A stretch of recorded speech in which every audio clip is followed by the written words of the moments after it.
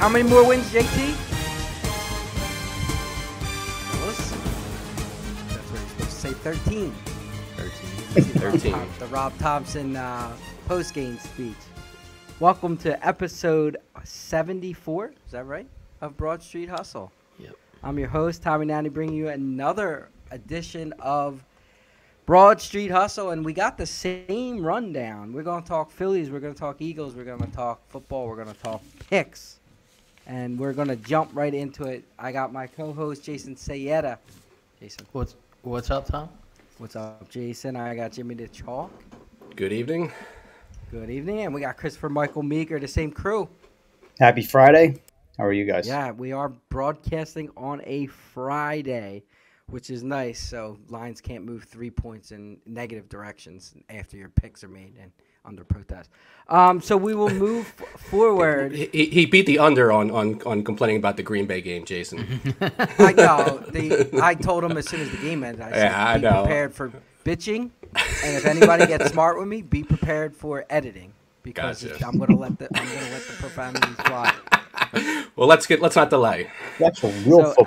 episode 74 broad street hustle you know we're not just a podcast here we're your playbook for success let's just jump right into it fellas we got phillies locked into the playoffs and as i alluded to to start the, the show 13 wins away from a, a world series last year they got what 11 so too short are we doing it this year um, Jason, I'll, I'll let you take it whatever direction you want to take it. You want to talk series upcoming, you want to talk them clinching, whatever you want to do. Go ahead. Yeah, I mean, I guess I'll start out by saying it's nice that they clinched early because now you could basically set up your rotation. You know, you could basically set up Wheeler pitched last night. We're taping on a Friday, so he pitched Thursday night. Uh, only threw four innings, threw sixty some odd pitches, I believe. Um, they're not going to pitch Nola again. Um, I guess the one concern is now tomorrow they have to play a doubleheader. So, you know, how many pitchers are you going to have to use in that game? Like, are you going to deplete the bullpen? You know, I would be all for calling up Scranton, Wilkes-Barre, Iron Pigs, or whatever their names are, because who cares about these games? You know what I mean? Like, let them, let them, let those guys pitch. But Who? Uh, Um, la- what was it last year? The, I can't remember now. Uh, for game one against St. Louis, did they have Wheeler? Were they set up? yeah, Wheeler started. They, Yeah, okay. Wheeler and then started. they had Yep. Nola game two. Yep, So they yep. were set up last year as well. Yep. So, um, so that's good. Um, so now I think you just have to kind of figure out what you want to do in the bullpen. I mean, it looks like now to me, I believe Alvarado is now the closer, which I'm happy about because it looks like Kimbrel's getting washed at this point in the season. He does not look good, um, and I do not trust him at this point. And Alvarado does look very good. He looks like he's back.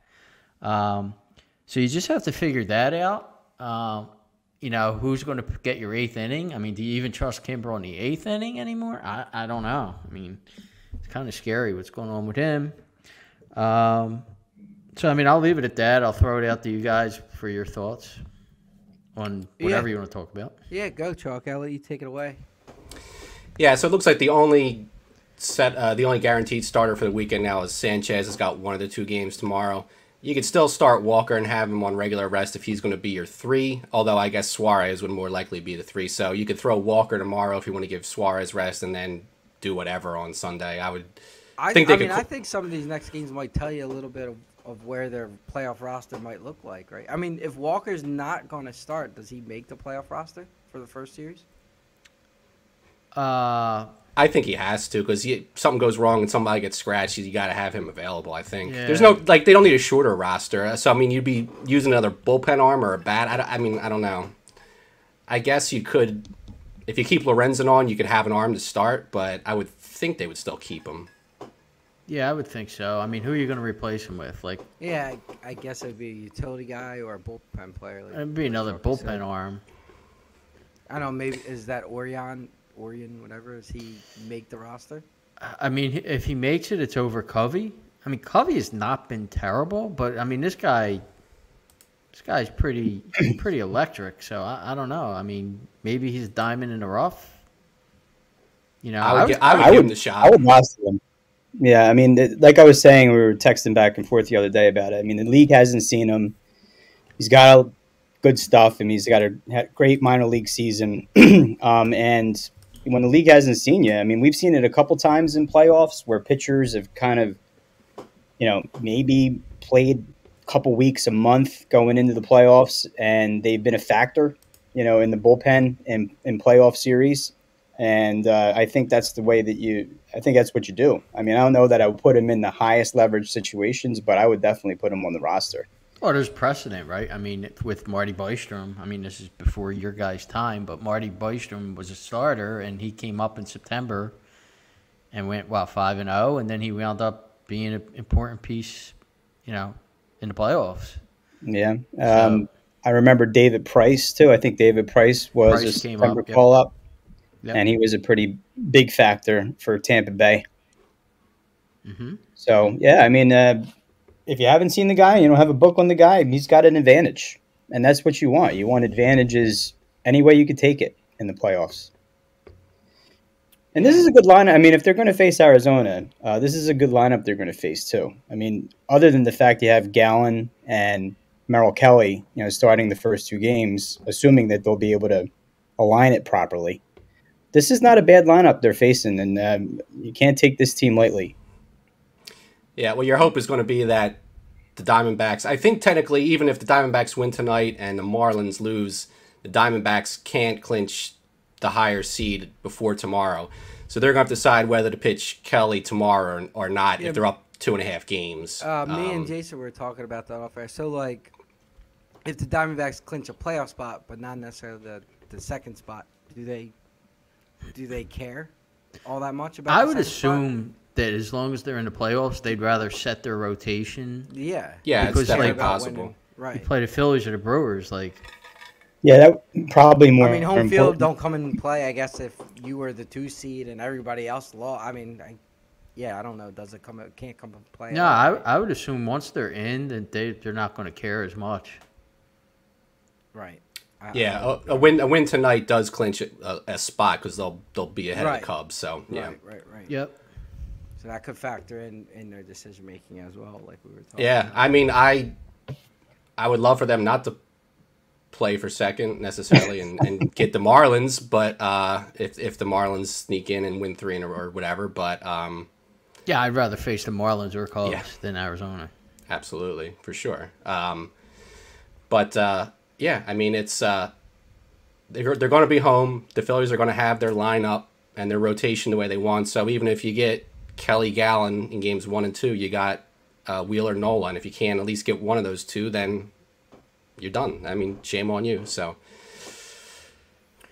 Yeah, and are we we set on the game three starter if it does have to go to game three? Oh, it'll be Suarez. We all think it's Suarez. Yeah, it'll I be would Suarez. at this point. yeah, I mean, I think that's the decision. That's what they're going to do. Yeah, I would trust Suarez over over uh, Walker, and you know he has a short leash. Yeah, Whether it's Lorenzen or whoever Sanchez is going to follow him, you know. Yeah, I could see Sanchez coming out of the bullpen. You know, as like a, a second re- second starter. Uh, we talked about this many times. So Walker, I don't see as much, obviously, but uh, Sanchez, I can see for sure. Yeah. Now, if I think if if you were going to do a bullpen game with Walker, he's got to be your opener. I don't think he can come in like in the fourth inning. Yeah, I'd He's not prefer to really have. good in the first innings anyway. He's horrible in the first inning. Yeah. I would prefer to have um, a bullpen guy coming out of the bullpen. You know what I mean? Like rather than like a Sanchez. Like even Lorenzen, he's got prior experience coming out of the bullpen. Yeah, I think it depends on what inning it is, or you know, I mean, was it last year Suarez had was coming out in like this second inning or third inning? in he the came playoffs, out, didn't I he? believe, in the third or fourth inning last year Yeah, against. I think it at least third for Atlanta. Yeah, it was. Atlanta. Yeah, Yeah, so they yeah, had he didn't make it. short leash, Yeah. leash on him, and then he did come out of the bullpen for some games as well, Mhm. um, in the Atlanta series too. But um, yeah, I don't know. I don't know what really what else to say that we haven't covered, you know, in podcasts prior. And now it's just a waiting game. We got a weekend to cut to get through, see who they play on Tuesday, and then Well, so I, there, right? do we assume that Ed Harper's going to be your first baseman? Uh, lineup, yeah, I have it. I have that written down. What your lineup is, what your positional players are. I mean, from for me, it's it's yeah, Schwarber DH, Harper at first, Marsh in left, Rojas in center. Yeah, yeah. I'm I'm petrified that a ball's going to find Schwarber in the playoffs. You know it would happen.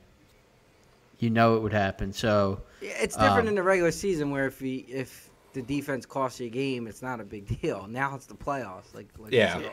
I mean, you can't have that in the playoffs. So, I, I No, mean, I yep. it has to be. What was the reason Yeah, you wanna Harper go not your playing best defense. first? Just because of health wise?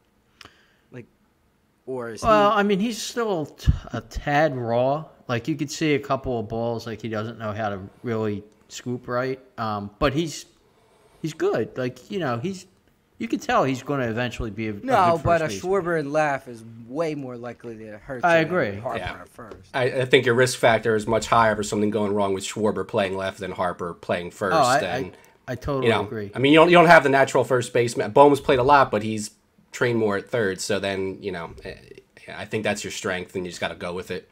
But the other question is like if if there's a lefty now, uh, first two games you won't have to worry about that if it's Arizona because they're both righties. But is Marsh playing against a lefty? And if he's not, who's playing right field or left field? I'm sorry. Right, Yeah, I. Pache? Pache Yeah, Pache. In a playoff game. Uh, I I don't know. I don't think you play those types of matchups now. I think you just go with your best lineup and just keep him in there. I don't know what his stats are against left-handed pitchers. he I doesn't, know he doesn't play him. He doesn't play him against. I know lefties. Thomson sits him a lot against left-handed pitchers. I he don't had know a if little he's bit of that a bad. stretch there that he was playing him a tad bit, but then he went back to not. So maybe his numbers weren't that good. Yeah, I could I could actually see Pache playing against a lefty. Yeah, I, I mean, Pache hasn't really gave you bad innings when he has played this year. No, he's an okay um, player. You know, outfield wise, he's probably better. Than, uh, definitely better than Marsh. He's, so he's better than Marsh in the yes, outfield. he's Defensively, sure, yeah. So that would really give you a solid outfield defense. Maybe light on the hitting. Yeah, I, I don't know. I mean, uh, do they have a lefty to start that would start Arizona? not or you- sure who this their would be, I third guess against like Strider. If we Do you guys all- know offhand who Ryan, third Ryan um, Ryne Nelson? Nelson, I think. Yeah. But he's a righty, I think. Uh, I'll look it up. Um, I believe he's right-handed. So So the uh, just real quick, the Marsh uh, 2023 splits versus left-handers, uh, 98 at bats, 221 with a 315 on base percentage. So not really strong, but not strong at all. no. No, I, I you know if it's Arizona, you probably don't have to worry about it. But um, moving forward, Max Fried, you know you're going to get lefties with the Braves. Yeah, not sure. What am I thinking? Strider? Do we know Yeah, Free? yeah, Do we know if Fried's going to be ready for the series? I series? think I, I I think it was a blister. You know, and that'll that'll clear up, and he's not. I mean, that series isn't going to start until the next weekend. So, and he hasn't pitched for at least five days, so that that would give him two weeks to clear up a blister. I would think it would clear up. Could open up again, but I mean, I think he would start. Uh, yeah. So Arizona has no right-handed starters listed according to E ESPN. So they have lefties in the pen, but no starters. Yeah. Now, if so it's- hope, hope play. If it's the Marlins or Cubs, then you got a problem because then it's Steele or Luzardo. you know, two solid left. You know, Yeah, I mean that's solid the problem to good begin lefties. with because we're, you know, we have a, a left-handed lineup with Harper and Schwarber as well. Yeah, Now they've hit those lefties at times, but and Stott. and About Stott, Stott. Stott's not really great against lefties. Yep, yep, yep, yep. So Yeah, I mean that that could definitely, and teams know that. I mean they're going to try to teams try know to that. stack Yep. against them. Yep. Yeah. Yeah. Yeah, I mean it's it's hard to say you don't feel as you, you felt you feel stronger in this playoffs than you did last year, obviously, because you really didn't think they were going to go far last year. Now, obviously, 20, hi- hindsight's twenty twenty, but I I just don't. I know we talked about it. You know, I this team just. I mean, I they have resiliency, they have the lineup, but I just can't see them like you know beating the Diamondbacks, yes, but then you know advancing past the Braves is where. Like I'm, I- I'm, I I'm honestly more concerned about like This getting series? upset by Arizona. Believe it or not, like I would, like bring on the Braves. Like uh, it'll be a good I just series. think those Uh, three home games are huge. oh, I they're the, fact that can't. three of them are home is huge. Yeah, yeah, against Arizona. Yeah, I Against mean, listen, they probably win, but Zach Gallen's from here. He's pitched well here. you know, um, he. I remember the one game he pitched. He was he was up. I mean, he left the game and he pitched a, a gem, and I know because I had a lot of bets on him for to lead the league in wins and Cy Young and this and that. And the bullpen just came in and blew the game, so he dominated them. The one game he pitched here this year, so you know it's a little concerning. Yeah. That wasn't There- a playoff game, but No. Yeah, you don't know how he's gonna react. yeah, there was that was a that was an afternoon game and like a business Yeah. person special, Yeah, which lighter probably had crowd. twenty thousand people there. Yeah, it'll, it'll it'll be packed. It'll be rowdy. So that'll be Yeah. the first time he's really exposed to that. Maybe it's not a problem, but um, it's a wild card as far as the environment. They're a little bit like the Phillies from last year in a way. Like they, I don't think anyone. We did talk about them on the uh, podcast to start the season as a team to watch, but I don't think anyone really thought that they'd be as good as they are. And they're, you know, they're just young enough and stupid enough to take it further, like the Phillies did last year. So, you know, Yeah, you got to watch a, teams they like that. a pretty good lull there in the middle of the season, and then I mean, the National League is just the the bottom end of the National League wild card is so bad that somebody had to be the first, second, and third wild card team, and we still don't know who the second and third wild card team is. So yeah. you know, ah, I don't know. I think you move Arizona out of the conference, and they're not even keep competing. But Yeah. When you have two guys like that at the top of your rotation, though, you're always in games, and Yep. that's that's the scary part. Yeah, I like your comparison with the Phillies last year because it was the same thing, and I, I know I remember saying it myself. I was like, yeah, you got Wheeler and Nola.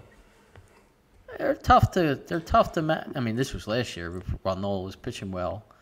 You know, it's tough to match up with. Yeah, I mean, I, I, I felt I overall I feel like this Phillies team is playing. I had more confidence in the team overall than going into playoffs last year. But I was probably more confident going into the matchup against St. Louis because you were running Wheeler and Nola in games one and two of a three game series potentially against Quintana and whoever started game Was it two Nicholas for or something like some clowns? might have been yeah. So I mean, Wainwright. uh, Ni- uh, You know- Nola was also pitching better last year too. I mean, you don't know what Yeah. you're going to get this year. no, Oh, he's- I, and He's Just been good good as the last last two couple outings. start- Yeah, he's been he's he looks pretty Yeah. good the last. last So- couple starts, but the first thirty starts they were questionable. You know, so. I mean, you know, them's going into the playoffs. I mean, if there's ever a time for him to uh, to turn it around, it's now. So Yeah, I mean, and they're and they're especially you know you're you're playing two pitchers like this. He's going to have to because you know I mean going back to last year, they were shut out until the ninth inning in game one when things kind of went wild, and they only scored twice in game two, but they shut him out. So if you're facing two quality pitchers, I'm not expecting to get five or six runs necessarily in these games. So you're, I mean, if Nola gives up four runs in an inning, they're probably losing that game in game two against uh, you know say Gallen. But they Um, were on the road those games too. So Yeah. know, the expectation is that the the bats will be more alive at home. Well, you hope so. You did, I I don't think you can afford to have the start. Uh, Schwar- I mean, Schwarber was pretty much uh, invisible in the first two rounds last year until he got to see. I don't think you're going to. If if that happens this year, I think it's going to be a tougher road. Whether it's you know Diamondbacks Braves again, um, but with better pitching, you're going to need all the bats available. So hopefully he doesn't start cold. Most of the bats are pretty hot right now. Stott Yeah. kind of sl- he's in a slump, Yeah, and Turner Bohm picked it back up. He got it. He hit a JT's low been there, hitting, yeah. and JT's been hitting. His splits are odd, but he is There are odd. Uh, but Stott and Bohm are struggled a little lately. Um, hopefully they could re- restart And I, themselves. I I think the team overall was on a little bit of a slump going in last year. They they were, had a losing record in September. They had got swept by a bad Cubs team before clinching in Houston. So as far as record wise and overall play, they're they're doing better overall. So hopefully that's a I mean, that's a good that sign. was one but of the reasons why you really didn't have that much hope for the Phillies is because it wasn't like they were playing. They got in by default because they everybody would lose. They would lose and everybody would lose. So they were losing stayed to like Florida or Yeah, Miami, well, wasn't it? Cubs, like Chalky just said, they got And swept by the Cubs, yeah. Cubs. So that's Cubs why one them. reason you you really didn't think they were going to make too Yeah. much noise last year. Well, it's weird because I think this year we definitely, I would say, we definitely have more confidence in the team in general. But I don't know if I have confidence to get as far as they've got as they went last year, and just get hot like they did. Um, it was kind of lightning in the bottle type situation last year. This year, I'm expecting them to win the first series. I'm expecting to give the Braves a, a good series, but maybe it's just because the Braves are in the way that I just don't feel as confident as I should versus, you know, how I felt last year when it was like every series they win is just a bonus, you know, the ride Braves, that we're on. Braves are such a choke team, though, man. It's a it's a whole new whole new season once the playoffs start. I would agree. The, the one, the thing that scares me is though, and there was a game they played the Braves. I guess the last time they played them, where it was like, did, did this Phillies team that you know they have the resiliency, right? They're down, they come back, they take the lead, they win, whatever. And they, against the Braves, they did that. They were down two, they tied it. Next Yeah. inning, Braves took the lead. They tied it. The Braves took the lead. They tied it. Braves took a two run. It was like every time the mm-hmm. Phillies kept answering, somebody on the Braves hit a home run. You couldn't get through that lineup without getting a run. It was Yeah. inning after and last year's team, the Phillies did that and jumped on the Braves, right? And they, they never were able to recover. Where I don't know if that happens this year with that team, unless uh, Yeah. they choke like like you said, Jason, which is possible. and their bullpen's not great. Got to get to the bullpen. Yeah, their Yeah. bullpen's not great. I mean, you're right, Tom. They in the three win games they won against the Braves, they jumped on them early and put them on the defensive. And you know, I was listening back to uh, to our season preview uh, the other day when I was bored, and uh, Must have been really bored. it was yeah, Inso- insomnia. Um, but uh, one thing, and Tommy wasn't you know on that episode, but the one thing we were all unanimous in and unanimously wrong was we thought the Phillies definitely had a better lineup than the Braves, and that did not pan out for the uh, Wow. for the season. So if that, I mean, if if the lineup doesn't choke, there it's a tougher matchup, I think, than what the Phillies had last year. You know, at the very least. So to Meeker's point about not going as far, I think this is a better Phillies team, but I think their opponents in the first two rounds are tougher matchups potentially than what they saw last year. Of course, you could still draw the Dodgers depending on how the rest of the wild card shakes out. Um, but I'm assuming they're going to end up getting Atlanta. No, they can't. I mean, I thought that was true too. I don't think they reseed it. They are like locked in against the Braves if they win the series. Is that okay? I thought they reseeded. but Yeah, they don't right. reseed it. I thought they did, but they don't. up. I'm Yeah. not sure, but I believe thought, you guys. I thought they did too. So yeah. So we're getting the Braves regardless. But I just wanted to say, like Meeker's off podcast NFL betting record that's unproven, I was thought the Braves had a better lineup than the Phillies because I wasn't on that episode, so I, I want to be on record Yeah. that I did. You also did thought they're you were going to say they were going to win 104 games. I, right? right. So And, uh, just yeah. like like I said, Just like Meeker. like Meeker's off NFL. He's record 75 that percent he with his bets, right? Right. That we don't see. right. Exactly. And the, and the other thing we were all wrong is uh, we all thought the Phillies would give them a run, and and we all said Atlanta will not run away with the division, so that also proved to not be correct. I mean, the Phillies, you know, for all intents and purposes, are going to win, you know, 92 games, 90 games, Yeah. 91 games. And still, or how many back of the Braves are they? 12? Well, Twelve or thirteen or whatever. I mean, that's yeah. just, you know, it's crazy. All right, anything to add All right. before we tie this up and uh, start? will any of you be present in any of these games? Nah. I actually had a chance to buy tickets for game one, and I they were terrible seats, and I was just like, yeah, I'm not going to buy. it. Yeah. They were like section 400 something. and- I mean, I put in for the lottery for the division championship series and World Series. So if I get a chance, you know, but I didn't have a chance to get them for the wild card round. I put in, and strictly if I get them, I will immediately sell them. There's, the days of attending games are past my uh, prime. So I will not be attending games. even Are you going, was Meeker? Given a ticket. We'll see. It depends on the time. If it's during the day, I can't do it. But if it's a night game, I might be able to do it. And I would like to go to game two because just I think that if that's that, that's the, if they win game one, I think they take game two and it'll be over. But we'll see. And Would uh, game one be important? Uh, of course. He wants to see them sell, run on the field. Yeah, he, he gets all excited he when they. Oh, yeah, that's- that's what I texted, yeah. That's what I texted the other night. I said, "Why are these guys popping bottles and taking pictures like they just won the Yeah. World Series?" This guy calls me grandpop. They all all the Well, teams all- do it. What team doesn't celebrate of getting in the playoffs? Yeah, Like, Yeah, they- but it's a I little think I much. You know, I don't agree that think- it's much, but it's just what ha- I thought it was ridiculous when the before when it was only the divisional series and not the wild card round, and whoever won to go to the championship series was celebrating. You know, but I mean that's the way it is. Uh, but also, Meeker is on a roll because they do not reseed. So the NL 4 5 matchup winner, which will be the Phillies and whoever, is locked in to play Atlanta. Yeah, I wonder why they do that. Doesn't make sense. Doesn't really uh, It's benefit. dumb because yeah, it's you, you should definitely reseed. Yeah, because you could because if the six seed wins like the Phillies did last year, Dodgers get them, whereas last Yeah, year Dodgers were the Dodgers were the one seed and the Phillies got Atlanta. You yeah, know, it's but not fair. I mean, it's The not- NBA does the same thing. The NBA Yeah, doesn't it's- reseed. Well, they dumb. start, and they also start the second round before the first round. Yeah. I mean, I, I can only assume it's for some sort of travel setup purposes, so they know that either one of these two teams is going to have to be going out there. Yeah. But I, I, you know, I don't know. But I mean, Um, other sports reseed, and it doesn't seem to be a problem. But yeah, I don't. Yeah, I guess. Yeah, it doesn't doesn't make sense to me. But Um, all right, let's move on to football. So we'll talk some birds first. We got a game coming up, but let's let's talk about the game that just ended. Um, total total domination by the Eagles. You know, the 14 point score probably doesn't tell the right picture. Um, Tampa never had a chance in that game if you know you really watched it. Uh, an impressive drive to end the game. It was nine minutes and 22 seconds or 36, something like that. Just craziness. So. Um, the Eagles showed some life that they haven't showed in past games, but they still show some flaws. I think. I'm sure if you- know a couple of you guys will agree. We'll see. Let's get into it. Jason, your thoughts on the uh, Eagles' 14 point victory last week against Tampa Bay? Well, you know what I preach all the time about the Eagles. I mean, for me, it's all about their line play, um, especially the offensive line.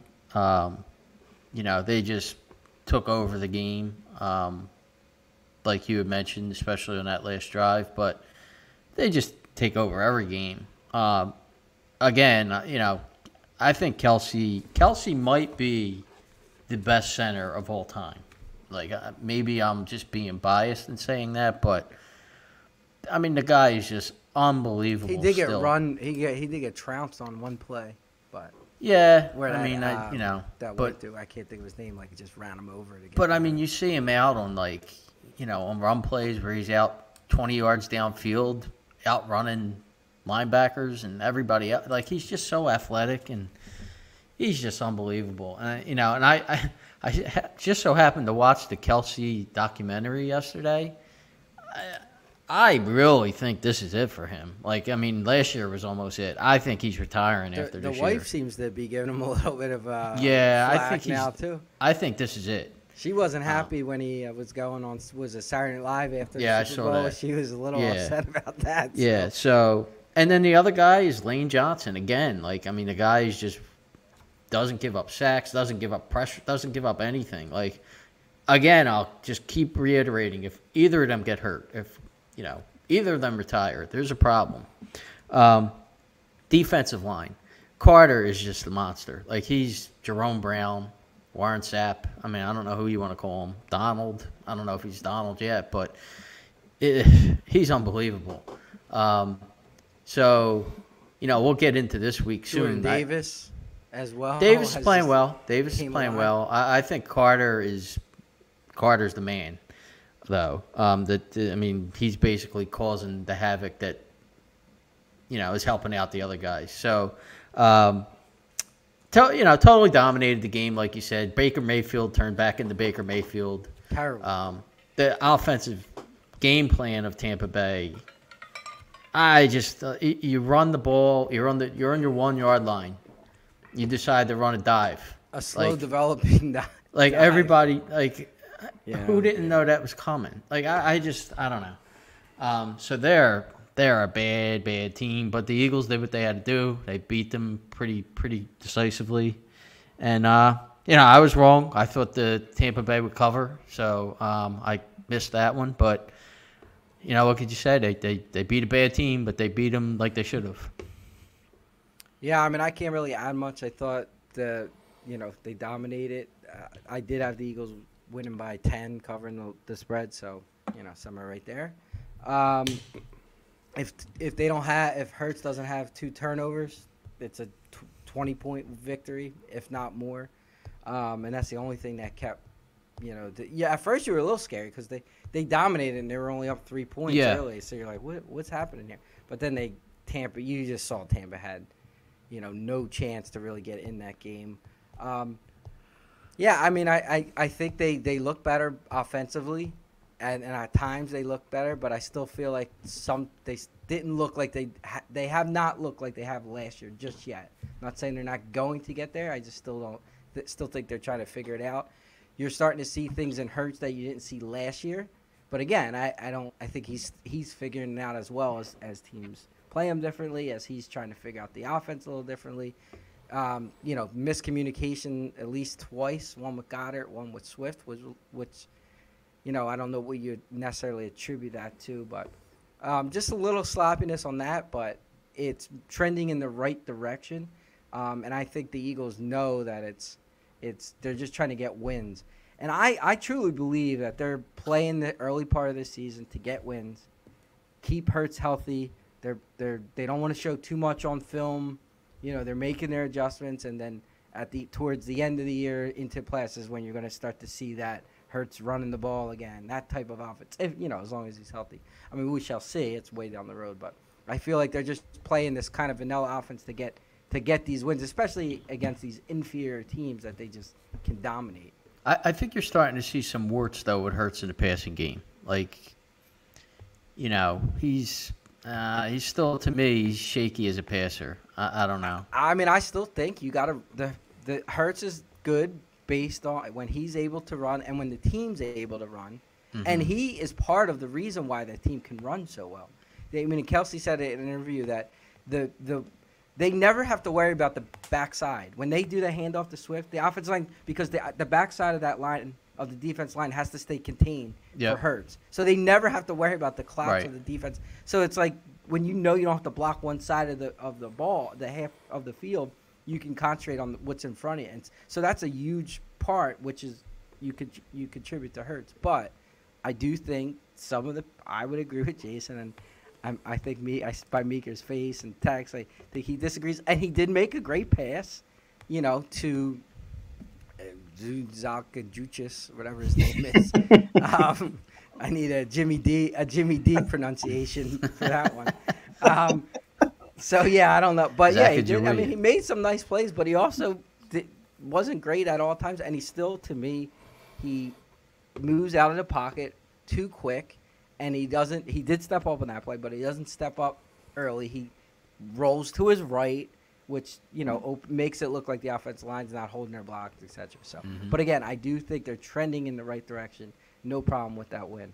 Um, I, I'm Meeker. I'll go to you. I, I, you're like chomping at the bit to to talk. So go ahead. No, um, well, the game to me kind of played out the way I thought it was score wise. I didn't expect them to run all over this team like they did against Minnesota, but they certainly did. I look, I agree that Hurts isn't clicking 100%, but he did make some really nice throws that were big plays in the game. Can't, you know, can't deny that. He got AJ Brown in the game, which we thought he would. I think Jason put a little bet on that. I don't know if you won that bet, but Uh, uh, I won the yards. I didn't win the touchdown. I mean, Yeah, that was AJ dropped- Brown, AJ Brown's fault too. He dropped two passes. he dropped a should've touchdown. Yeah, he dropped that touchdown, so that, that kind of killed killed my bet too. They turned over Baker Mayfield, which I thought would happen. Uh, they got to him more than a few times. Jalen Carter, here's a stat for you. Jalen Carter leads the NFL in quarterback hurries per snap. He's been a monster. He's been a monster. And what I was saying earlier in the year was, you know, they got younger on defense and they got faster on defense, and I think it's starting to show. And I don't think this is a good football team that they beat. I really don't. You know, they were two and zero team, but they didn't beat anyone, like I said, and it was a dominant performance. And um, you know, the Hurts conversation we're talking about here. Look, I mean, the easiest play in football is running between the tackles, and if you're chomping at seven, eight yards a clip, you don't need to have your quarterback run barely at all. You know, and they might have to change their game plan against better defenses when they can't run all over them for 200 yards like they've been doing against Minnesota, Tampa Bay, and keep his jersey clean. But you know, I know you guys still like the jury's still out with you guys with respect to Hurts, but like you were saying, Tommy, like they're not throwing the whole playbook out there right now. They don't need to. If you're dominating the line like you're dominating the line, and you're ch- and you're chewing up 200 yards and controlling the time of possession, like what does the guy really need to do? He, he doesn't need to run. Let's put it that way. You don't want to put him in any kind of bad situation running running the ball. Um, so, you know, and you're you're you're taking big leads. You know, you're playing a little bit more conservatively and you're dominating the line, you don't really need to make the big throws either. I mean, but he has made those plays. And, um, you know, I think in games against more tougher com- opponents, which we'll be seeing in the back end of the schedule, they might make some changes. But right now, you know, I have a new offensive coordinator. They're feeling some things out. And I can't, you can't tell me there isn't 250 or 300 million reasons why this guy is not running the ball like he was last year. I think they're protecting him, you know, and Yeah, but that's that, I- but I don't again, if they can win games like this, you don't need to, But to have eventually play it's- that game. they have to because right. I You're think not gonna like the results to if not. preserve the Well, you keep saying that, but like I mean, there, there's nothing to prove that you don't you won't like the results. I mean, what, what what about that you've seen that you think he's that not can't- a good passer. He's just not. He's not a good passer of the football. So he needs to have the, the dual threat of running, passing. He needs to have the dual threat to help the running game of running. well, you No. think he's not a good passer? That's your opinion. Tom is Jalen Hurts a good Well, passer I mean, of the first football. of all, everything we say is going to be our opinion. I, there is no fact. Yeah, I- there is no. I mean, where's the facts? no, I don't it? think. I. I mean, I don't think he's a pure. I said it many times. I don't think he's a pure passer. He's, He's not. not. a pass first quarterback. He's an effective, a very, very effective passer when situations like he was in in these games where he's able to run, where the team's running the ball well, where the defense is on its on its heels. I mean, he made look third down. He made a couple night. He made a nice slant pass to Goedert on that last drive. They didn't just run on that last drive. He he converted a third down. But again, he's not. If the running game isn't working, do, does Hurts get the ball and win a game just with his arm, like a Patrick Mahomes or Josh Allen? No, I agree with Jason. No.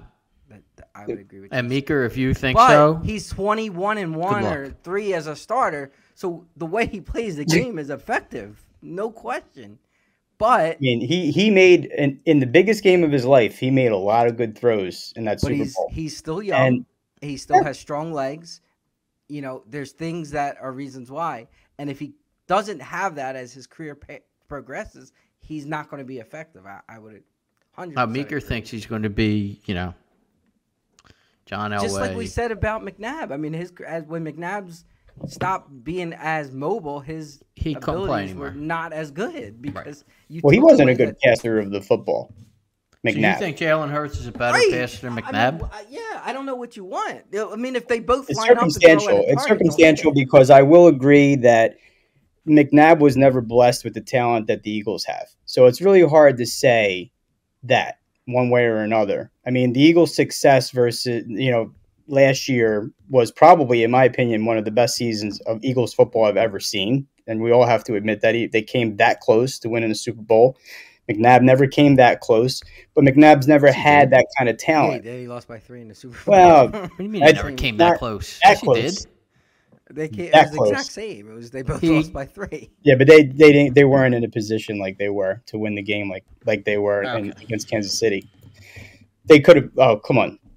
No, I, mean, come I, on? I, yeah, I, I mean that team was close, but regardless, I mean that's just. you're And they also went to four straight NFC Championship games. When the Eagles, this the Eagles team goes to four straight NFC Championship games, then we could do that the guy comparison as is 21, like I said, and one as a start. He's an effective quarterback. The way he plays the game, there's no question about it.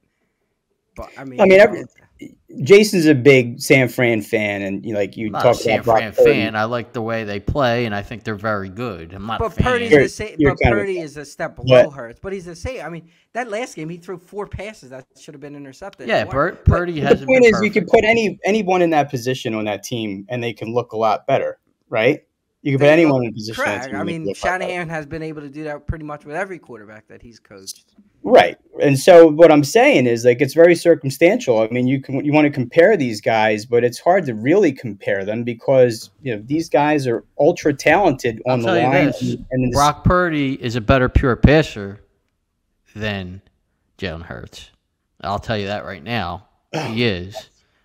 I don't know if he's a better quarterback than, than Hurts, but he's a better pure passer than Jalen Hurts. I don't care what you say, Meeker. He is. okay. He just is. All right. Chalk Has nothing to do with Yeah, let team Chalk he's in. Anytime you want to jump Oh, in. Brock, the Brock Purdy was on. I don't know. Pick another team. Brock Just- Purdy's also played what eight games, so I don't know, he's still saying, he's still young a in his team like career. Jacksonville, a good We'll team see. that doesn't have the talent that San Fran has. Are you saying the same thing? We have no idea. It's hard to say that. I'm saying he's a better passer than Jalen Hurts. I'm not saying he's a better quarterback. I'm not saying he's obviously not a better athlete or runner or whatever. He's a better passer. I'm not a fan of Jalen Hurts passing the ball. You could That's put you got could put. Chalky To- behind to that Yeah, let San Chalky. Francisco To line, me, and he'd be a, pa- a good one passer. Quarterback. In t- there's only one quarterback in today's game that c- is effective no matter who you put around him, and that's Mahomes. Mahomes, yeah. Every other quarterback needs players around him. So Yeah. I mean that's just the way it is. But it doesn't change if they are a good passer, not a good passer. I mean that doesn't you know, that's not what we're saying. But But Chalky- Meeker thinks Jalen Hurts is a good passer of the football. I, I think he's better than you give him credit for. I don't think he's a, I don't think he's I great. mean, the thing is, for every good he's better than you give point him credit we can for. Like it's out almost bad, like you're rooting for him not to make a mistake to make yourself right. I mean, I don't get it. I am? Chalky, let's go ahead. Get out of here, Meeker. Chalky. There you go. Uh, okay, I'll say this. Um, I I'm not going to break into passer versus this or that. There's not another quarterback in the NFC that I would take over Jalen Hurts right now. It's playing the quarterback position, however you want to break it down. Uh, I don't think he's playing at the highest level yet. I think he's progressed each game. This was his best game of the year so far. There's still progress to be made, and you still have another three weeks to get that straight before you really have to worry about if they don't get improved, are they going to keep winning? Because you got the Commanders, the Rams, and the Jets the next three weeks. This team can win playing the way they've played the last three weeks and go six and zero. Then you got the Dolphins. That's a whole nother show, and you're not going to win if you got to run the whole game against the Dolphins. That's going to be a track meet, and you're going to run out of time. I think probably, but we'll get to that when it happens. Um, I had best centers of all time. Do we want to get back, get back to that since Jason said Kelce? Uh, I did not see any of these It's guys, but Stephenson, it's Mike Webster. I mean, who else? uh, so so I'll go. So Kelce is ranked top ten here, but top three are, are uh, Jim Otto, uh, three Webster, two, and they actually ranked Chuck Bednarik as number one. I don't. None of us really watched them play, but um, that's who they have I mean, ranked not here. for nothing, but but Kelce probably changed the position a little bit with Yeah. he's the Yeah, first absolutely. of that mobile Mhm. down the field type of center, smaller, No. agile type of center. I mean, that's the kind of guy players that like teams want to draft guys like. I mean, it has to fit your offense, but he's almost a prototype now of kind of what you want at that position. So um, he's in the conversation for sure. Um, you know, not much else to add. I'll say, you know, the the run the run defense is now the the best in the league. It's only three weeks in, but you know why you tr- you know at the you're running on first down, you're running the goal line. I mean, uh, the two Georgia linemen took out four of the five linemen themselves. So when you're playing like seven on three, how you expect to get out of the end zone, I, I don't know. So Tampa Bay did not have a good game plan for whatever reason, and the Eagles, you know, uh, whatever struggles the offense still had. The miscommunication, whether that's Hurts or Swift, or you know, I could see it being Swift, but maybe Hurts should have known better. The second interception didn't bother me so much. He took a shot. He still seems like he's a he's a, a half beat slow on some plays. Um, I don't know. I mean, he said he had he had flu like symptoms the other night. So if that's true, then you know, I, I guess that could give him somewhat of an excuse. But I was the second interception I was fine with. It was a deep shot, and um, the two passes to Zaccheaus on that drive. I mean, he stood in the pocket, he got time, but he stood in there instead of taking it down and running. He took a hit on both those plays, and he made two good throws. So those are probably his two best throws of the season. He's going to have to pick it up further from that, but I see signs of improvement. But he is not playing at consistently the level he played at He last year for sure. he has just as many turnovers, like. He's got as many he's got as many interceptions as passing touchdowns right now. But I mean, even like all seat, like he already has what four turnovers. Four with, five? with the fumble, yeah. Yeah, I mean, like I, you're not you're not try, you're not a Hurts hater for pointing that out. I Yeah. mean, yeah, The- like, According to can Meeker, say- you are. According can to say Meeker, What I that- said if was you point out that, he's is- got is that- deficiencies, you hate him, and you're rooting against him. I didn't say that. I said Yes, you did. rooting To make a mistake, so you can say that he made a mistake. That's and then what, you start saying, "Oh, well, if you if you read the text that I get about it, I never said that I hated Jalen Hurts. Never I said. didn't say you hated him. I said you're rooting for him to make a mistake, so you can point it out. Okay. Well, I mean, anyway, look, I, I, Hurts has looked like a different quarterback since that end of the first half of the Minnesota game, where they met, went more run heavy, and he's looked a lot more comfortable throwing the ball and has made better plays throwing the ball from that point forward. And I'll we can go to I mean, Washington. and they still have a new offense coordinator, and you yeah. and you. That's why I- I agree with- yeah. being successful with that Colts team. Clearly, I, I, I agree. I agree with your point that they're not trying to go, you know, uh, balls to the wall with the play calling. I mean, they're still trying to feel each other I mean, out as far as. just as look that. at Goedert. Goedert's average catch is like a yard past the line of scrimmage, if that. Right now, you know he's not. They're not using him to stretch the field whatsoever.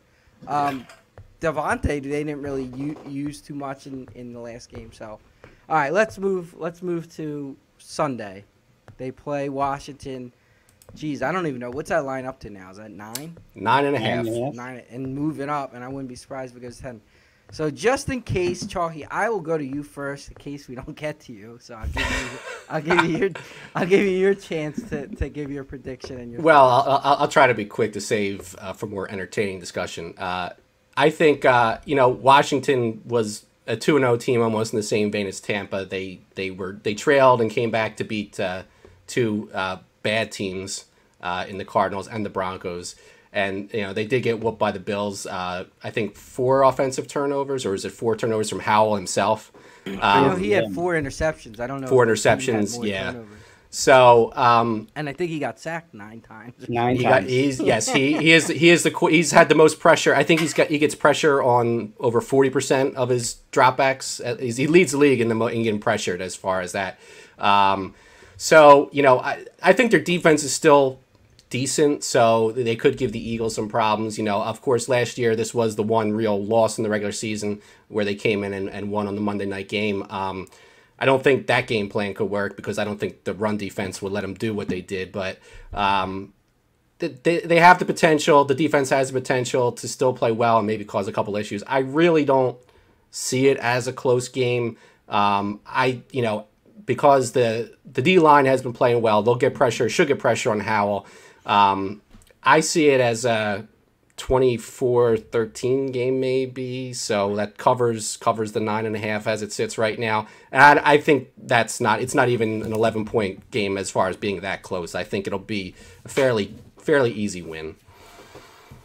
Um, Jason, your thoughts on the game prediction? Yeah, I think uh, you know the the, the Joe Public dum dum is going to assume that oh, since the Eagles lost to Washington last year, they're going to you know they Washington just matches up with them, and the Eagles are going to struggle again, and this and that.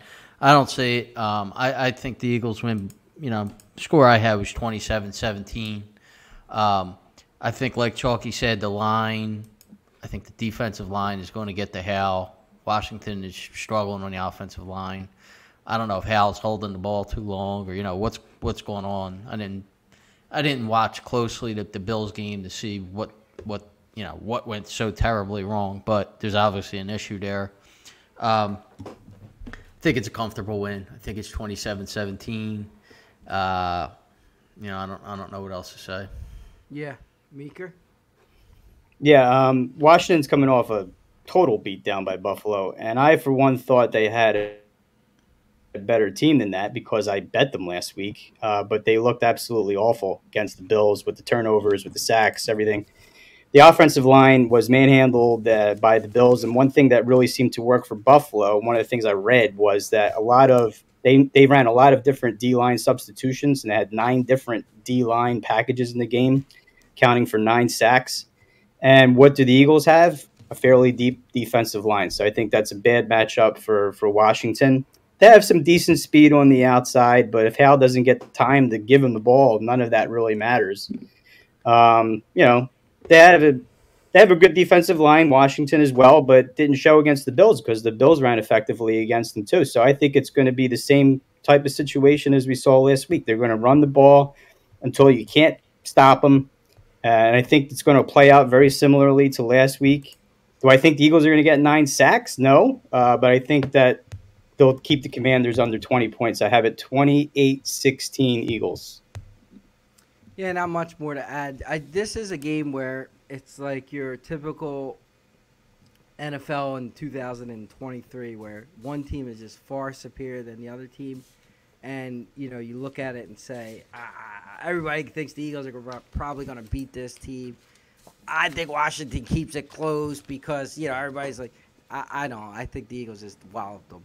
Um, they're just far superior. Washington, you know, Washington's weaknesses are all the Eagles' strengths. You know, defensive line. They have a weak offensive line. Their quarterback holds the ball. So I got a 34-10. I got Wow. in a pretty pretty big blowout. Um, can I see Washington score more than ten? I can. Uh, but you know, being at home, I said let me just let me keep it on the low side. So 34-10. Um, all right, I had some stuff planned. We're running. We're we're getting up on time, so I'll just go do one thing about the league right now. We won't get into crazy. I had a few questions. I'm just gonna say, give me your top five teams after week three, right now, Jason. Uh, I think the 49ers. I think the Dolphins. Eagles. No, this is in order. Yeah, I'm, I'm gonna. I Okay. think the order. Yeah, Yeah, yeah, 49ers, okay. Dolphins, Eagles. I guess you have to say Chiefs, right? And then the fifth team is tough. Jeez, I mean it could be a number of teams. Fifth, um, God, I mean I'll just say the Bills, but I don't know if I believe the Bills. but I'll say the Bills. That's funny. Um, all right, so my top, I'll do my top five because so I had the Dolphins and then the Niners just because of yeah, the Dolphins did put up 70 I had the Eagles third. I had the Chiefs fourth for the same reason, and I swear I did the my fifth team. I said the exact. I mean, almost word for word. Yeah, But because I don't like the Bills, I didn't put them five. But they probably are five. So I put Detroit five. Um, because they, you know, they just won. I just watched them play as well. But um, I mean, literally word for word, what Jason said was the exact thought process that went in my head, and it probably is the Bills. But I just I picked against them to start the season, so uh, you know that's more more so why I, I didn't make them five. Chalky. Uh, I mean, I'm, I I would, would be the exact same order as Jason. Uh, I had the Cowboys won last week, maybe they would be five, but they didn't. So I'm not really putting them in the top five.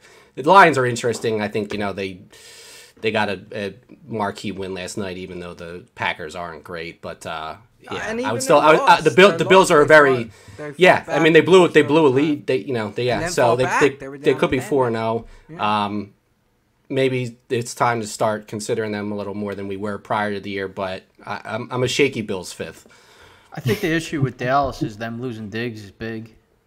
It's a big injury for them. And they like, just they lose games like they did last week every year. every year. And it's then the coach Dak- and quarterback is, is Right, eventually if going to come isn't back and front get them. running, he's not Yeah. effective. I mean, they, they just have too Right. And Mi- Mike McCarthy is an awful then- play caller. He's an awful player, and and Dak just is just not a winner. I mean, that was more evident by them running more run plays than pass plays, and that that drive shows you what they thought. Meeker, so I guess for you it would just be top four because I guess you have the Saints first. So after who would you have after that? Not after last week. No, I got the Eagles first, San Fran second, KC, Miami, and for recency purposes, I guess I would say the Bills because Dallas lost the way they lost. But you're right, Jason. The injury to Diggs is maybe bigger than we than we know, and they had a lot of injuries last week, and that's not an excuse. But you know, consulting with my Dallas fan friend, um, he essentially said, "Look, you know, Dak Prescott is a guy. He is what he is." he'll win a game with you, but he won't win a game for you. Pretty good line. I like that. Uh, so and how about can't how he loses games? there. He also What's that? loses. He loses games also. he can lose games too. Um, but I'll put Buffalo, Buffalo fifth, and it's a shaky fifth, like you said, Chalky. I'm not sold on them yet, but this is a big test this week, so we'll see. Yeah, I I mean it's interesting. I mean, I guess it's pretty. So wait, what was your? I'm kinda- sorry. What was Meeker's order again? Eagles, San Fran, KC, Miami, Buffalo. So basically the same teams as we it's had. but everybody has Same the same teams, te- yeah, just for- different for order. intensive Okay, okay. purposes. I mean, it, so I mean it goes to show you that's kind of like what a, it's only three games, so it's hard to really say. And Yeah. records, although records don't necessarily dictate it, you can't if you can't say the Chargers, who are a one and two team right now, is a top five. You know, if that's where you're thinking. So, no, I just thought it would be interesting to run through. Um, and then I guess we'll go to uh, we'll move on because we're we're coming up to the top of the hour soon. Now I'm gonna start, and then I'm gonna put it to bed. Green, I had Green Bay minus one and a half. The line, the line at kickoff was plus one and a half. That's absolutely outrageous to have a three point spread. That's one, one, two. If that line is Green Bay getting one and a half, I'm never betting that game. That, that I, I, I mean, you know me. I my my picks are based on lines. The teams that are playing are almost irrelevant. Doesn't I could care less. Vegas already did all the work of the teams. I don't need to figure that part out. So the line is the reason why I picked the Packers, and then that line to go to one half. So this entire season, I protest. Continue. And that'll- one we'll thing put- I will we'll say put that is last bed. year I- we We should have lost anyway because on, the Saints me- played a terrible fourth quarter and I did all the wrong things, and my that- that quarterback game got hurt. even I been can go on played. Let me just throw this out because it, it involves me also. There was a game last year that I remember Meeker was crying about that you and I, me and I Tommy both had as our, short memory, and I do top pick. and we benefited from a line change. Not a. Th- this is a three-point Uh, line it that was crossed like- the zero. it was like two. a three-point line. I'm not talking about a half or three to It was three like and a half. two. That can happen. A three-point sp- movement So- that crossed the zero is outrageous. You know. Outrageous, and still almost covered. This shouldn't have even been close. But I should have just said money line, and then it wouldn't have been a problem. But but but I digress. Yep. So Jason, take us away.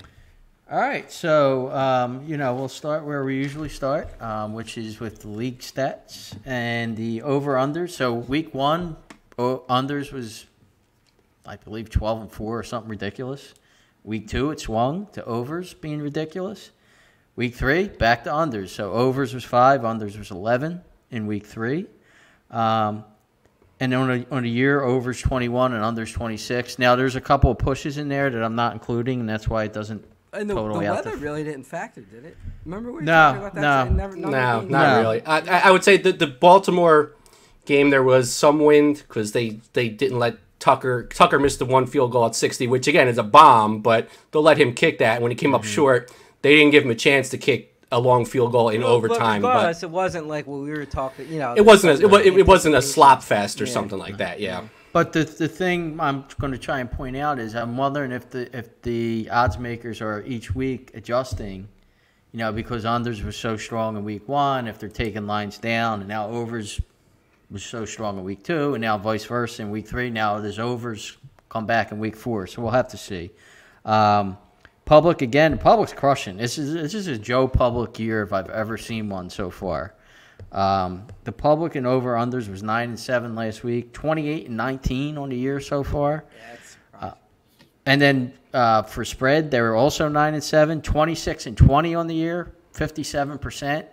Does anybody think that's going to continue? There's a rude awakening coming with the yeah. public. I don't. Jason, do you have favorites and underdogs in there, or no? You didn't get that. Uh, I don't. I don't. I don't have that. I'd be um, curious. well, I'm Chucky might be able to pull that out real quick. If not, we can have it for next week. That's just something. Yeah, we'll, we'll take a look at that. But um, so now we'll get to our uh, our weeks, and we'll start with Chalky, uh, because Chalky was our only winner last week. Um, he went uh, two and one. Um, he hit his best bet, which was the Colts Ravens under. Um, he won his second bet, which was the Bills Commanders under, and but then he lost on the over in the Eagles Bucs game. Um, uh, That was that was going to be that was the stone cold lock right there. I won the first two. We knew that yeah, was not to. gonna. Yeah. Yeah. Uh, go to me. Um, now, luckily for me, my best bet only counts as one loss.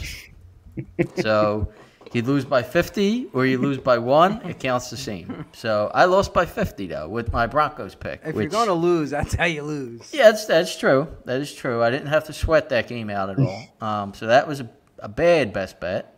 Um, I did win the Bills Commanders under just like Chalky. But then I, I had the Bucs. You know that was another bad pick. So uh, one and two, I'm struggling. Uh, go to go to Tommy. Uh, already have spoke about his best bet, um, the Packers, which he didn't cover when he picked it, but he did cover it. Depends on when you bet it, whether or not that was covered or not. Um, game two, he lost with the Vikings. Um, he had them minus No, one. that's just Kirk Cousins' pig. He had Ba- yeah, the they're- they're line. Chargers tried to lose the game for you. Bad team. Uh, but then he won with his his third pick, the Browns. So he went one and two. And then we get to our boy Meeker, um, who actually beat me head to head. He had the Eagles with his Joe Public pick with the Eagles road favorite team, Joe Public, but he won it. Um, so he won a head to head with me, which he won a couple last year too. I did fail to mention that me and Tommy did beat Chalky in a head to head last week. So Chalky, you got away with that on last week's show by us. We, not we're, not, we, we're not bringing up the past. Like if it's not if it's not relevant to the current stats, it- anyway. it, doesn't exist. Don't make me curse on this show. So anyway, I already cursed on the show. no, I, I wasn't really gonna. So anyway, um, but Meeker, you know, as as usual, as is usually, uh, one and two he went is one and two week. He's a thirty three percent handicapper. but only year. on the pod, he was five. only on the pod. When he makes his real bets, he's seventy five percent. So me and Jason lost a collective by 80 points this week because I had Washington. Yes. So yeah, so you lost the the Chiefs uh, Bears under, Oh. and then you got annihilated in the Washington bet. So you went one and two. Yeah, Mika, your games weren't even watching. None of your games No. were even watchable. So for the year, uh, Chalky is the leader right now. So Chalky's five and four with a seven percent ROI. So he leads us in ROI. Fifty six percent win percentage. Um, I'm next. I'm also five and four, but I only have a five percent ROI. Fifty six percent win percentage. Tommy's next. He's four and five with a minus five percent win percentage. Forty four percent win. Minus five percent ROI. Forty four percent win. And then our boy Meeker with his three and six, his minus 36% ROI, his 33% win percentage. Um, best bets, uh, I'm one and two, minus $107 profit, minus 33%. I'm horrific so far in my best bets. Uh, Tommy's also one and two, minus 115, minus 38% ROI. Chalky is our leader with two and one, eighty-one dollars and eighty cents profit, sixty-seven percent win, twenty-seven percent ROI, and then our boy Meeker, one and two, minus $109 loss, minus 36% ROI.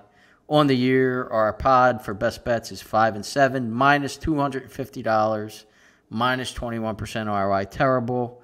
Um, let's finish with our all time yeah. record, shall we? Uh, go ahead. Go ahead. No, shall we? time left. I believe we shall. Uh, I'm 38 and 23. A profit no. of $1,140.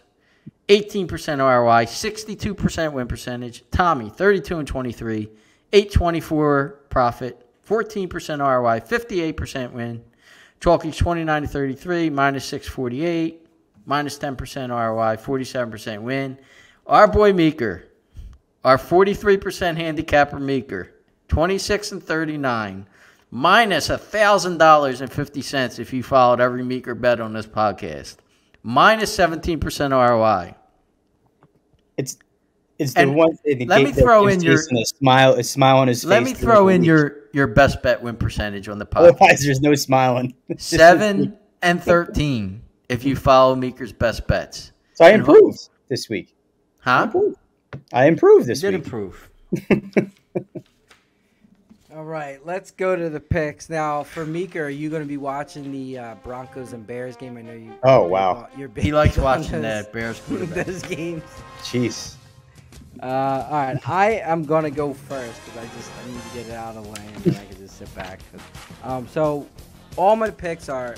Oh, I wanted to say I'm very disappointed in this podcast. We aren't doing but poorly so far to start. season. But Yes. I'm more disappointed in Chalky and Meeker that a year the public is actually doing well. How are you guys not winning? Well, especially I Meeker. I don't understand. Let, us give Chalky a break because Chalky's good on his best bets and stuff. Meeker, you should. You had your Joe Public Eagles pick last week, which is one of the biggest Joe Public best bets that I've ever seen. But then you followed up with you can't find these other public picks that are winning. Uh, I got one this week for you. Go ahead, Tommy. okay, can't, can't wait. All right, so all my picks are against the public this week. They're all, um, you know, li- looking at lines. So as long as these lines don't change, and it is Friday, so I feel a little bit better. Um, but so my best bet of this week is Indianapolis minus one. They're at minus 105 um, as of before the pod. Chalky, started. you, you do That have is, luck that is there. that is that is correct. Okay. Uh, my second pick is Cincinnati minus two and a half, minus 115.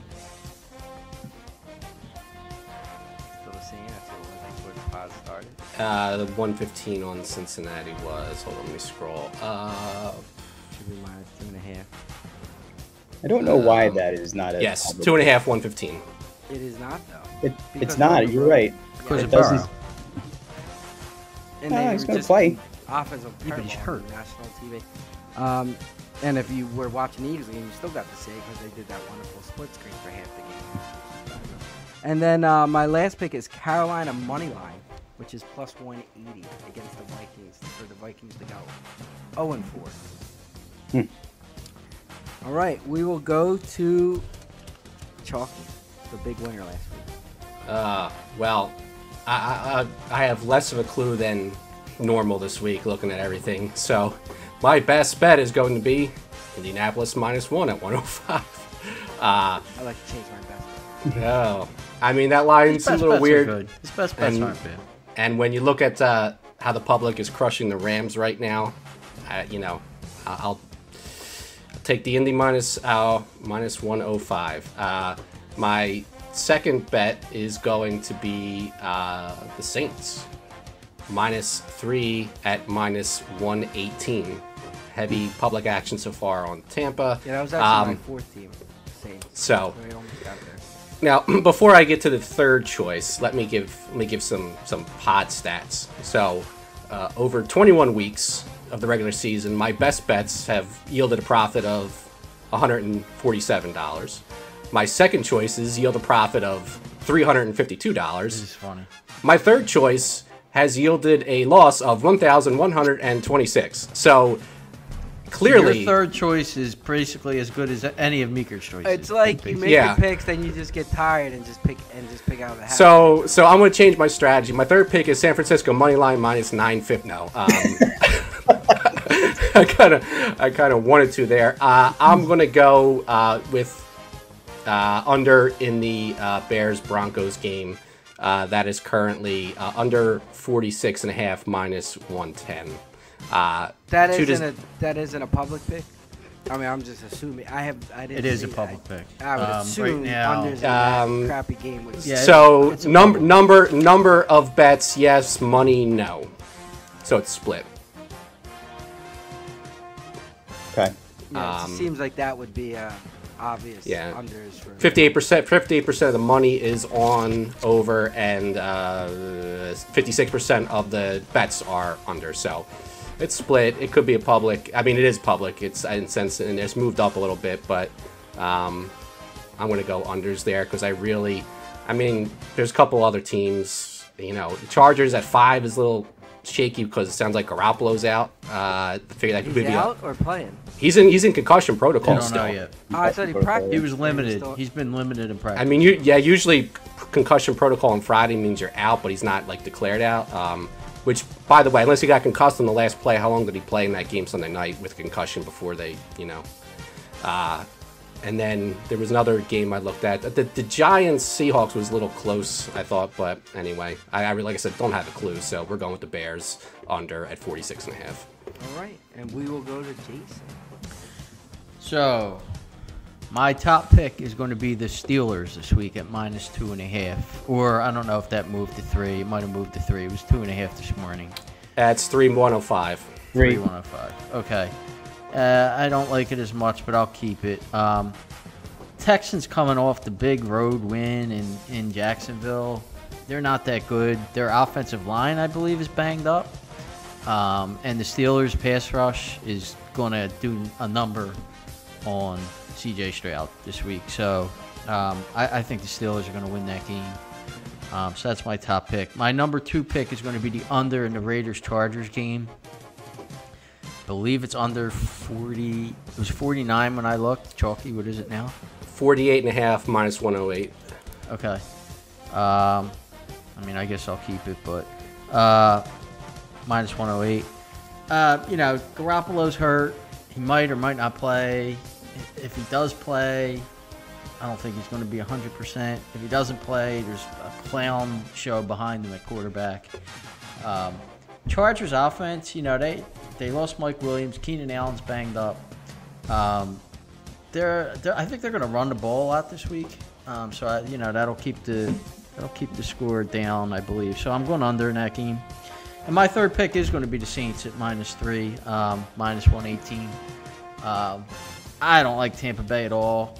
I almost I don't care who quarterbacks the Saints. They're saying Carr might play, but I don't think it matters. I don't think Winston's a, a bad backup. Um, and I think they win that game regardless of who's quarterback. And I, I think Tampa Bay is just not a good team. So is it minus three, minus one eighteen? Yep. Okay. So that's my third pick. All right. And last, but certainly not le- uh, certainly least, is Meeker. So I do have kind of a public pick for my best bet, and that's a team that I think really needs to win a game and win it impressively, and that's Jacksonville. They're they're well, it's a neutral site, but I guess it's a home game for them. Uh, they're given three, uh, and it's one twelve. Uh, they have to step up and win this game. I mean, I, it's the bottom line. I mean, I can't see this team going one and three. I think we all thought they were going to be a pretty good team. You know, contend for the Super Bowl. Uh, so they're in des- kind of desperate times right now. So I see them winning that game. The second is a completely not public pick, and that's over in the Cleveland Baltimore game, and that's over 39 and minus 110. That line has moved down considerably. 108. So Go ahead, Chalk. it it dropped to 108, so you got a little bit better there. Okay. And what's So- the number? Thirty nine. Yeah, 39 is correct. It's 108 as we speak. Is there a reason that line's moving? I think it's because they don't know if Deshaun Watson's going to play. Yeah, he's got a shoulder Baltimore's got a lot of injuries, but you know, if you have injuries on defense, that that could mean more scoring. And it went from 44, it opened at 44, and now it's at 39, and public's all over the under. Cleveland's backup quarterback. I actually don't even know, I, I have no idea. but You might want to if you're if you're making that one of your bets. You might want to kind of know who the don't care. Like I said, regardless of the team that's playing, I'm using Tommy's philosophy. I think it's a big public bet, and I'm going against the public on that. And I'm going over 39. And last, last but not least, I like the. I mean, it's just more of a hunch than anything else. I think the Giants are going to win because their schedule coming up for the next three games is harrowing. Uh, and if they don't win this game, they're going to be one and five real quick. Seattle's coming across the country. Um, after So does that make them try harder to win this game? Huh? Like what what is the reasoning? That I just they think have to that win I this just think they're going to win regardless. But you know, So if they're they gonna do try lose this game, they're in big trouble. Got so it. they're minus one and a half, minus one ten, taking the Giants on Monday night at home. Hold on, hold on. Gi- Giants are underdogs. One and a half, right? Plus one Plus and one a half. half. I meant to Yeah, say. yeah. Yeah. so okay. Cleveland's backup is Dorian Thompson. Robinson. Thompson Robinson, who actually he played pretty well in the preseason, actually. Yeah, against guys that are bagging groceries at. Is that was that being sarcastic, Chucky, or that was actually real? No, I, I mean like he, I, no, I mean he got good. He got he, he was well regarded for his preseason play, but uh, you know doesn't Watch mean his anything for the supposed to regular play. I mean, he's they're saying he's more than 50-50 he's going to play the game, but I don't know if that's the reason why. If he the line gets is nice that low? massage, he'll be set. He'll be Yeah, that's all he needs to do. All right. Can I give my prop bets because yeah, I have yeah. to redeem myself from last week because I don't think anybody scored for me last week. I, I Yeah, only have okay. two this week, two touchdowns. Hockenson plus 150 and Richardson. And it's a minus minus 105. He's getting he's going to run another one in. They're just going to continue running him Yep. because that's all He's they the could do. Jalen Hurts of the Colts. He's the Jalen Hurts, of Steichen, new yeah. Steichen's, Steichen's new Jalen Hurts. So one of them are scoring, if not Alright. both. How about anybody else? Any props before we head out? I didn't look at that. Uh, let me look real quick. I want to say uh, Brown gets in the end zone this week, so that's plus finally 135. Man, What is he plus what? plus 135. All right. Well, that was episode 74. A very entertaining one, I, I may say. episode 74, Broad Street Hustle. Not just a podcast, we're a playbook for success. Have a great night.